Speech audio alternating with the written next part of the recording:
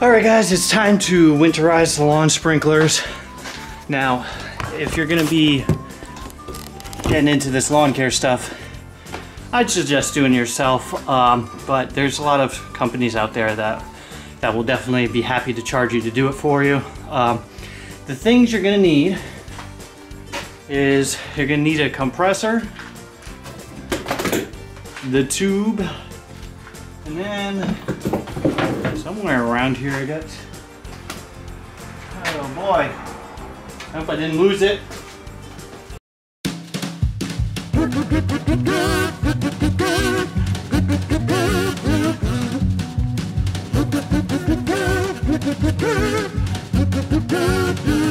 So I searched everywhere, can't find the adapter. Uh, but never fear, this is where being part of a local Facebook group for lawn care fans or whatever you want to call it uh, comes in helpful because Gary's coming over with his adapter.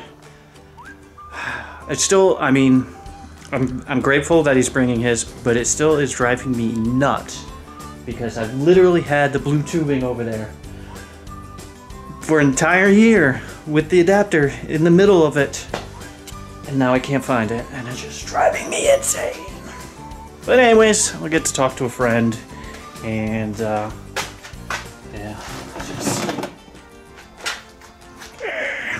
So we got this, the adapter. We'll go on here, and I'll connect over to the uh, sprinkler system. It's like a hose spigot, and you can blow it out. It's really easy. So we get everything ready, so when he's here, we can just have at it. Just drives me nuts. All right, so let's talk about compressors. Now this one, you can see it's five cubic feet per minute.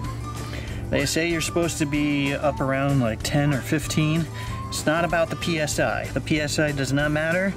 If you do 90 or 135 PSI, you can easily break sprinkler heads.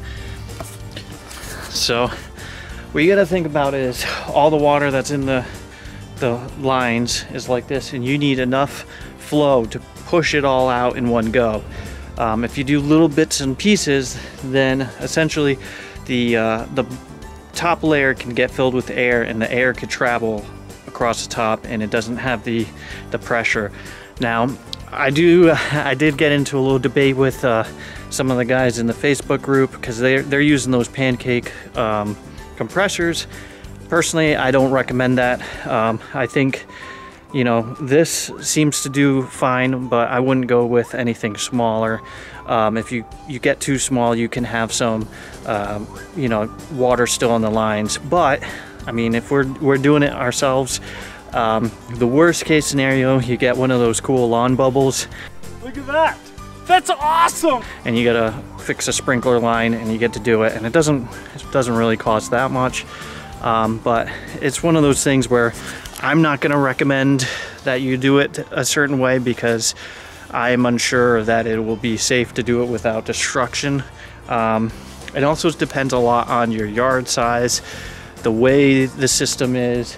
You know, from, from here you can see we're at the top part of the yard. It's all downhill, so it's going to use a lot less air to do it. But if you're trying to push the water up a hill, that's going to have another uh, effect on and everything. So you just you don't want to. Wait, which way is the sun? Oh, there we go. You don't want to um, do too small of a compressor.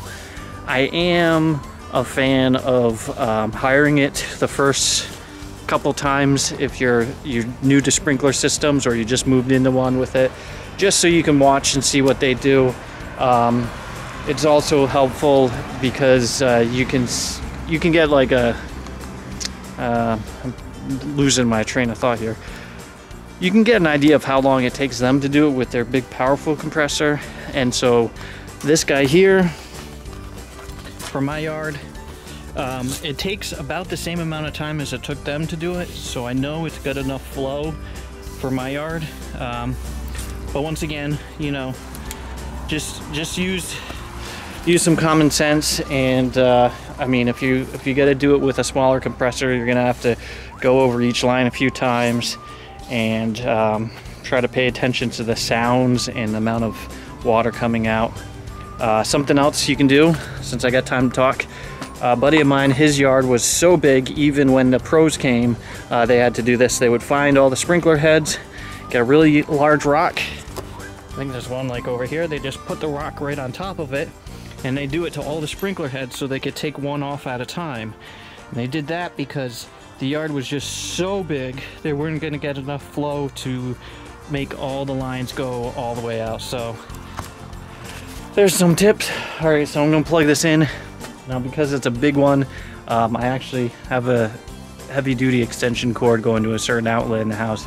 Otherwise, it's gonna turn the TV off if I plug it in to the outside outlet. Now for security purposes, I uh, bend the prongs so that the kids can't plug it in. Just kidding.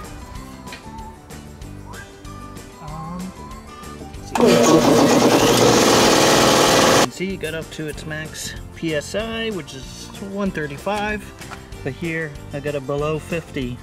So that'll give me enough uh, pressure to get the water out. But also, because the tank's full of air, it's gonna have some more volume. And uh, usually, before this gets down to 50 psi it will kick on and it's usually enough time where it stays at 50 psi the entire uh, time so I'm able to do a zone before it runs out um, so where you can run into issues is if your compressor runs out of oomph of pressure of airflow before the zone's done then you cut it off to let it recharge that water can flush back um, and this isn't, you know, you know, I'm not some scientific person. I don't know uh, what kind of proof they have. This is what they say, experts. So um, it could be, you know, a pitch to get you guys to pay someone to do it. I don't know, but it's one of those things where I'm gonna tell you because um, if you mess up your sprinkler system trying to do it with an under uh, an inadequate compressor, then you know, you can't blame me for warning you. So, uh, but I am of the type who will try things that's not possible um, and see for myself. So, um, feel free to do that. I mean, if you really wanted to, you could do it yourself with a pancake uh, compressor and then hire the company to come out and do it and see for yourself if theirs pushes any more water out. I mean, it's actually not a terrible idea. So, there you go. So if you do do that, record it and uh, we'll have a video and I'll share it. So there you go. All right, so this year, well, I've already unplugged the sprinkler controller. So I'm gonna do it the manual way. And that's by pulling up the zones, the boxes. You can see they're wet. So you're just twisting these and it'll say right on it of course, that one's dirty. On, off. So you just twist it till it's on. It'll let the, the water blow through and you're good to go. Of course, these aren't numbered, so... Oh. Yeah, they're not numbered. And one of the sprinklers is right here, so I'm gonna get wet.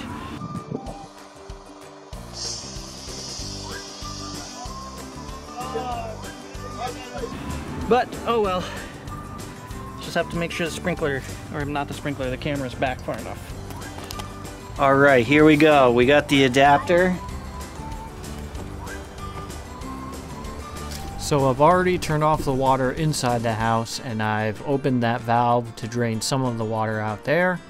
I have the adapter valve set to closed so when I plug it in I can slowly open it and not have a jolt of pressure go through there uh, just to make sure things don't um, break.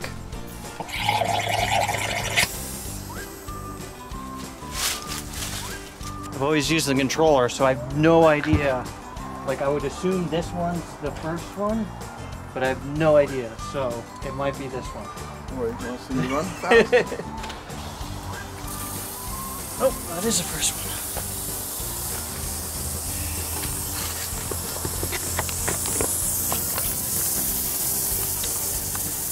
one. Alright, you can see that one over there, it's spraying a lot of water. The ones over here starting to turn into more of a mist. Way down there is still water.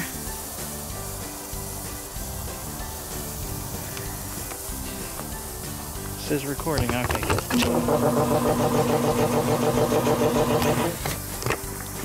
And you can see this PSI is still 100. That's less than 50, but that's all right. Seems to be doing okay. Probably.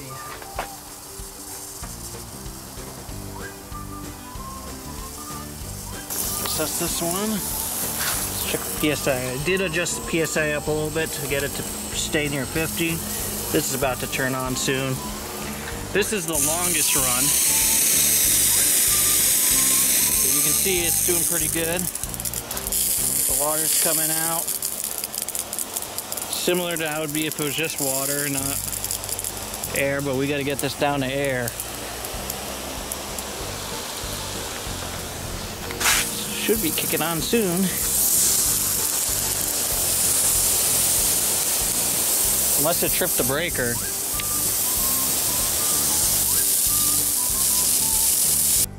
Alright, so I did trip the breaker and I ended up plugging it in and it worked a lot better. It was much faster.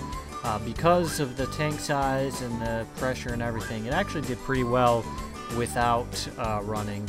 Uh, but it does go a lot quicker when it kicks on correctly. And essentially what you're looking for is the sprinkler heads to start spinning quicker um, because that's when it's just air.